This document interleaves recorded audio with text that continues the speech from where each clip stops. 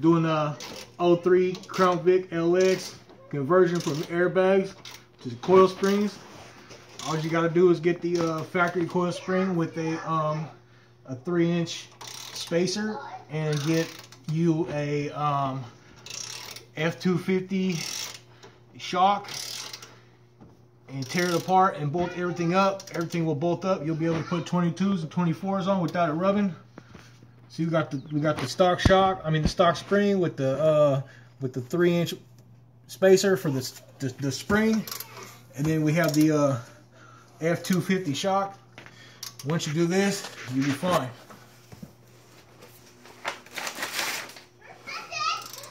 There's the F250 shock.